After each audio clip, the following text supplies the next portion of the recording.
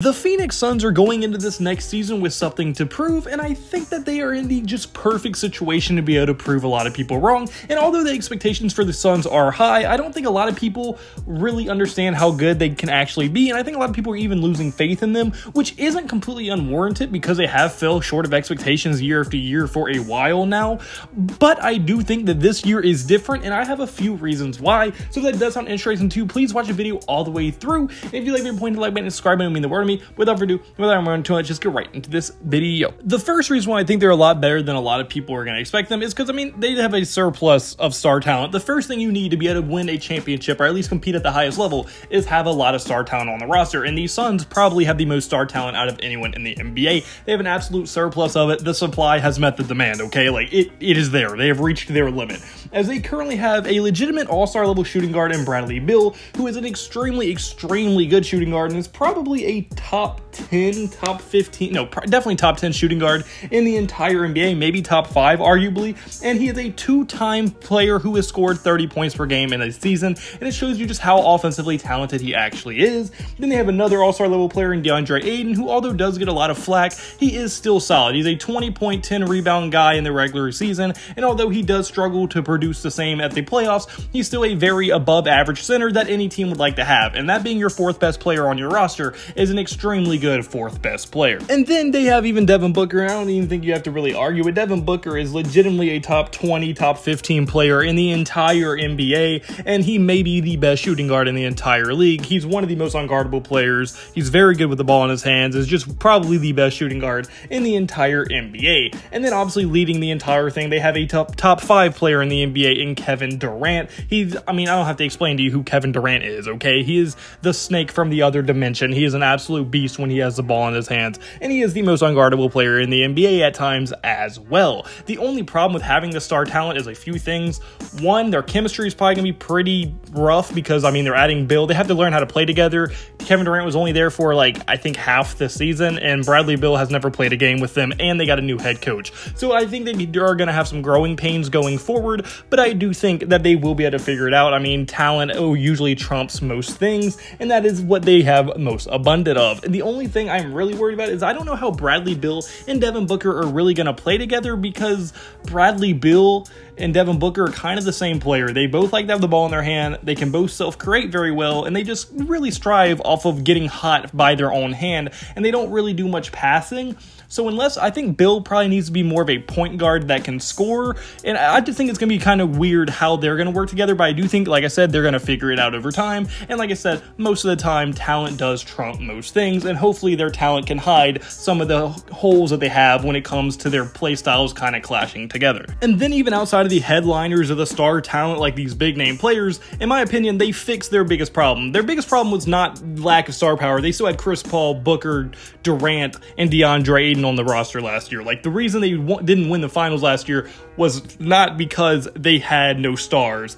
Far, far from it, actually. Their biggest problem was the fact that they literally had no depth on the roster. Outside of Cameron Payne, who didn't even play that well, outside of Cameron Payne, they basically had zero bench, and that is a huge problem when you're trying to win the playoffs. I mean, look at a team like the Nuggets. The Nuggets have two star level players. Now, one of them is the best player in the NBA, probably undebatably at this point, in Nikola Jokic, and then Jamal Murray is a top 10 point guard in the NBA. So, yes, their stars are very high level stars, but so are the Suns. But the biggest difference is one, they have extremely good chemistry but two, they are an extremely deep roster, which all like one through eight, one through seven, whatever, however deep they go on a certain night, are all very competent players that can produce, and that is exactly what the Phoenix Suns tried to address and fix this offseason this year. As in free agency, they went out and signed Keita Bates-Diop, Yuta Watanabe, Drew Eubanks, Eric Gordon, and Bol Bol. Now, yes, those names may not sound stellar to you, but I'm going to explain in detail why I think all these players are going to be great additions to this Phoenix Suns roster. The first player I'm going to begin to is going to be Keita Bates-Diop. Now, Diop was last year playing for the Spurs, and he just had his best year of his career last year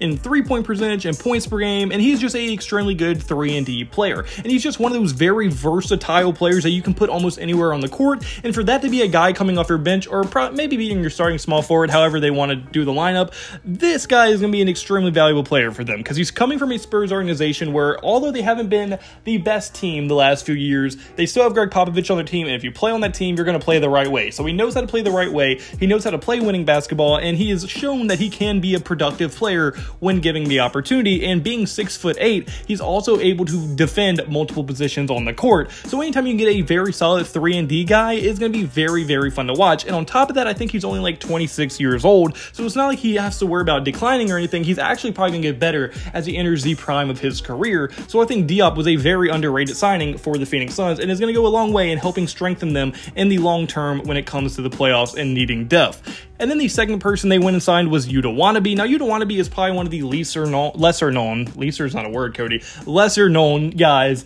in the entire NBA, or at least in terms of this free agency class. But Yuta is an absolute sniper from the three point line. He shot 44% from the three point line last year, and anytime you can add floor spacing to a team that has DeAndre Ayton, Kevin Durant, Bradley Beal, and Devin Booker, that's going to make it just that much harder to guard and make the team that much more dangerous. And in today's NBA, you can never have enough three point shooting and on top of that, Yuta Watanabe isn't short or anything. I think he's like 6'4, 6'5 or something. So he is also a fairly versatile player and also not the best defender, but he can still at least have enough size to not get bullied when he gets switched on a bigger guy. Now, I know I just said Yuta's probably the least known name in this free agency class, but now we're going to Drew Eubanks, and unless you're a just NBA fan like me, you probably don't know who Drew Eubanks is that well.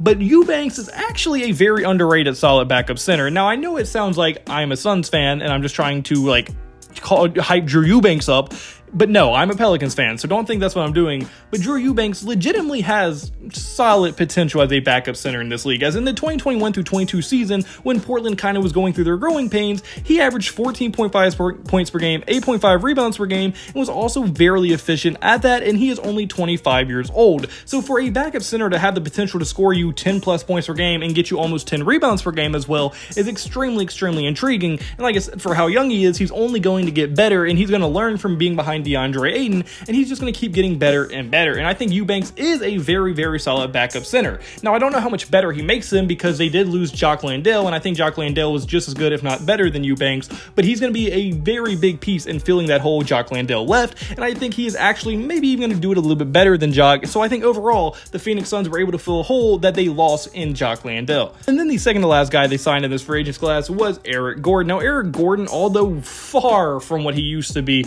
in his prime, he is still an extremely solid veteran scorer that can get you around 10 points per game off your bench. And when you're in a big game, he's not going to fall away because he's been playing for championship contending teams for a very long time at this point in his career. And he just knows what to do. He's a veteran that's played on good teams. He knows what to do. He's going to fall in line and he's just going to do anything you ask him to do. And that's a veteran that you love to have on any contending level team. And I think Eric Gordon was a huge get from a leadership perspective and maybe even a production standpoint in the big games when you need your bench to step up. And now the very last guy in this class is Bol Bol. Now Bol Bol last year had his first chance really since joining the NBA to actually play minutes in an NBA game. And in the 33 games that he actually got to start for the Magic last year, he averaged 12.5 points per game, 7 rebounds per game, 1.1 assists per game, 1.4 blocks per game on 57% shooting from the field and 36% shooting from the three. And mind you, he is only 23 years old, and at 7 foot 2 to be able to shoot a 36% clip from the three-point line is extremely valuable, and he's still a very good shot blocker as well. Now, yes, I know he has his flaws, but if you're telling me a 23-year-old 7 foot 2 center who can space the floor, dribble, and have very high offensive upside